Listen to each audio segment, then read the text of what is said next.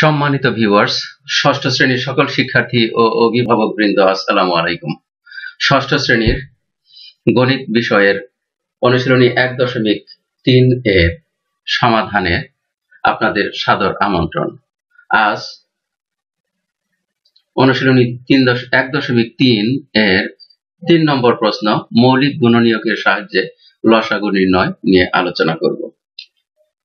ইতিমধ্যে যারা আমার এই চ্যানেলটি সাবস্ক্রাইব করেছেন, তাদেরকে জানাই অনেক অনেক ধন্যবাদ। যারা এখনও চ্যানেলটি সাবস্ক্রাইব করেননি, তারা এখনই সাবস্ক্রাইব করে নিন পরবর্তী ভিডিও নোটিফিকেশন পাওয়ার জন্য।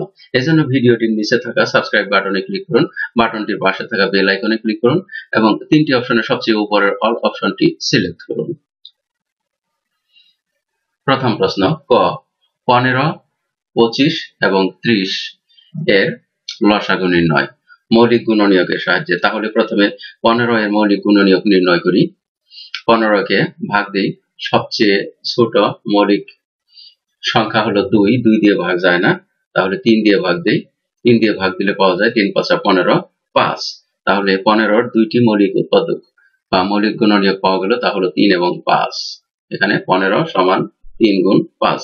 এবার পঁচিশের গুণনীয়ক বের করি। তিন দিয়ে ভাগ যায় না, পাঁচ দিয়ে ভাগ যায়, পাঁচ পাঁচা পঁচিশ। তাহলে পঁচিশ সমান পাঁচ গুণ পাঁচ। এবার ত্রিশ এর গুণনীয়ক বের করি। প্রথমে দুই দিয়ে ভাগ দিই। দুই দিয়ে ভাগ দিলে হয় পনেরো। এবার পনেরোকে দুই দিয়ে ভাগ যায় না, তিন দিয়ে দিই।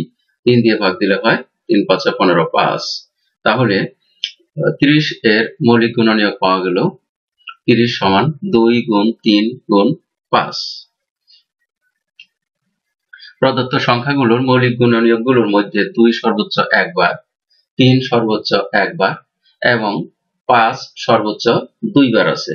অতএব নির্ণয় লসাগু সমান দুই গুণ তিন গুণ পাঁচ গুণ পাঁচ সমান একশো পঞ্চাশ। এবারে আসুন পরের সমস্যাটি সমাধান করি। সমস্যা খ, বাইশ, আটাশি, একশো বত্রিশ, একশো আটানব্বই। প্রথমে বাইশের মৌলিক গুণনীয়ক নির্ণয় করি। বাইশকে দুই দিয়ে ভাগ দিই।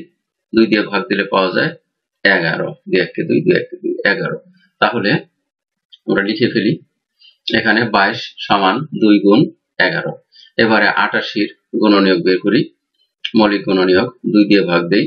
ভাগ দিলে পাওয়া গেল চুয়াল্লিশ। চুয়াল্লিশকে আবার দুই দিয়ে ভাগ দিই, পাওয়া গেল বাইশ। বাইশকে আবার দুই দিয়ে ভাগ দিই, পাওয়া গেল এগারো। তাহলে আটাশি সমান দুই গুণ দুই গুণ দুই গুণ এগারো। অর্থাৎ দুইটি তিন এবং একটি এগারো। এবারে একশো বত্রিশের গুণনীয়ক বের করি। প্রথমে দুই দিয়ে ভাগ দেই। দুই দিয়ে ভাগ দিলে হয় ছেষট্টি। এবার ছেষট্টিকে আবারও দুই দিয়ে ভাগ দিই, পাওয়া যায় তেত্রিশ। আবার তেত্রিশকে দুই দিয়ে ভাগ দেই, দুই দিয়ে যায় না, তিন দিয়ে ভাগ দেই, তিন, এগারো, তেত্রিশ। তাহলে পাওয়া গেল মৌলিক গুণনীয়ক দুইটি দুই, একটি তিন ও একটি এগারো। তাহলে একশো বত্রিশ সমান দুই গুণ দুই গুণ তিন গুণ এগারো। এবারে একশো আটানব্বই এর গুণনীয়ক বের করি। মৌলিক গুণনীয়ক প্রথমে দুই দিয়ে ভাগ দিই। দুই দিয়ে ভাগ দিলে পাওয়া গেল নিরানব্বই। এবার নিরানব্বইকে দুই দিয়ে ভাগ যায় না এবার তিন দিয়ে ভাগ দেই। তিন দিয়ে ভাগ দিয়ে পাওয়া গেল তেত্রিশ। তেত্রিশকে আবার তিন দিয়ে ভাগ দেই। ভাগ দিয়ে পাওয়া গেল এগারো। তাহলে আটানব্বই এর মৌলিক গুণনীয়কগুলো পাওয়া গেল। একটা, দুই, দুইটা, তিন এবং একটি, এগারো। তাহলে একশো আটানব্বই সমান দুই গুণ তিন গুণ তিন গুণ এগারো। প্রদত্ত সংখ্যাগুলোর মৌলিক গুণ নিয়োগগুলোর মধ্যে দুই সর্বোচ্চ আছে তিনবার, তিন সর্বোচ্চ আছে দুইবার এবং এগারো সর্বোচ্চ একবার আছে। অতএব নির্ণয় লসাগু সমান দুইটি তিন দুইটি, দুই তিনটি, তিন দুইটি এবং এগারো একটির গুণফল। অর্থাৎ দুই গুণ দুই গুণ দুই গুণ তিন গুণ তিন গুণ এগারো সমান সাতশো বিরানব্বই। আসুন আমরা আরেকটি সমস্যার সমাধান করি। গ, চব্বিশ, ছত্রিশ, চুয়ান্ন, বাহাত্তর, ছিয়ানব্বই। প্রথমে চব্বিশের মৌলিক গুণনীয়ক নির্ণয় করি। চব্বিশকে দুই দিয়ে ভাগ দিই। ভাগ দিয়ে পাওয়া গেল বারো। বারোকে আবার দুই দিয়ে ভাগ দিই, পাওয়া গেল ছয়। ছয়কে আবারও দুই দিয়ে ভাগ দিই, পাওয়া গেল তিন। তাহলে মৌলিক গুণনীয়ক পাওয়া গেল দুইটি তিনটি দুই এবং একটি তিন। তাহলে চব্বিশ, এখানে চব্বিশ সমান দুই গুণ দুই গুণ দুই গুণ তিন। এবারে ছত্রিশের গণনীয়ক বের করি। দুই দিয়ে ভাগ দিলাম, ছত্রিশকে আঠারো পাওয়া গেল, আঠারোকে আবার দুই দিয়ে ভাগ দিই পাওয়া গেল নয়। নয়কে আবার দুই দিয়ে ভাগ দিই, তিন দিয়ে ভাগ দিই, দুই দিয়ে ভাগ যায় না। তাহলে পাওয়া গেল তিন। তাহলে এখানে দুইটি দুই এবং দুইটি তিন পাওয়া গেছে। তাহলে ছত্রিশ সমান দুই গুণ দুই গুণ তিন গুণ তিন। এবারে চুয়ান্ন এর গুণনীয়ক বের করি, মৌলিক গুণনীয়ক দুই দিয়ে ভাগ দিই। প্রথমে পাওয়া গেল সাতাশ, সাতাশকে এবার তিন দিয়ে ভাগ দিই। তিন দিয়ে ভাগ দিয়ে পাওয়া গেল নয়।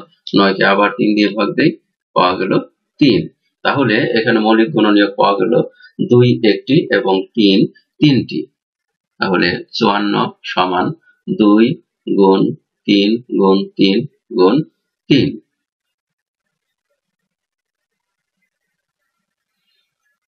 এবারে আসি বাহাত্তর। বাহাত্তরের গুণনীয়ক, মৌলিক গুণনীয়ক বের করি। প্রথমে দুই দিয়ে ভাগ দেই। ভাগ দিয়ে পাওয়া গেল ছত্রিশ, ছত্রিশকে আবার দুই দিয়ে ভাগ দেই পাওয়া গেল আঠারো, আঠারোকে আবারও দুই দিয়ে ভাগ দেই পাওয়া গেল নয়, নয়কে তিন দিয়ে ভাগ দেই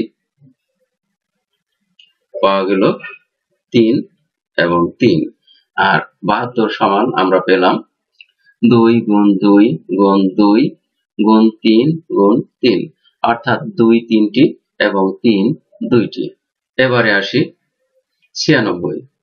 ছিয়ানব্বই এর প্রথমে দুই দিয়ে ভাগ দেই পাওয়া গেল আটচল্লিশ, আটচল্লিশকে আবার দুই দিয়ে ভাগ দেই পাওয়া গেল চব্বিশ, চব্বিশকে দুই দিয়ে ভাগ দেই পাওয়া গেল বারো, বারোকে দুই দিয়ে ভাগ দেই পাওয়া গেল ছয়, ছয়কে আবারও দুই দিয়ে ভাগ দিই পাওয়া গেল তিন। তাহলে এখানে পাওয়া গেল পাঁচটি দুই এবং একটি তিন। তাহলে ছিয়ানব্বই সমান পাঁচটি দুই এবং একটি তিনের গুণফল। প্রদত্ত সংখ্যাগুলোর মৌলিক গুণনীয়কগুলোর মধ্যে দুই সর্বোচ্চ পাঁচবার এবং তিন সর্বোচ্চ তিনবার আছে। অর্থাৎ এখানে শুধু মৌলিক গুণনীয়কগুলো পাওয়া গেল দুই এবং তিন। তার মধ্যে তিন আছে সর্বোচ্চ তিনবার এবং দুই আছে সর্বোচ্চ পাঁচবার। অতএব নির্ণয় লসাগু হলো পাঁচটি, দুই এবং তিনটি তিন এর গুণফল সমান আটশো চৌষট্টি। এতক্ষণ ধৈর্য সহকারে সম্পূর্ণ ভিডিও দেখার জন্য আপনাদের সবাইকে জানাই অনেক অনেক ধন্যবাদ। সেই সাথে পরবর্তী ভিডিও দেখার আমন্ত্রণ জানিয়ে শেষ করছি। আসসালামু আলাইকুম ওয়া রাহমাতুল্লাহ।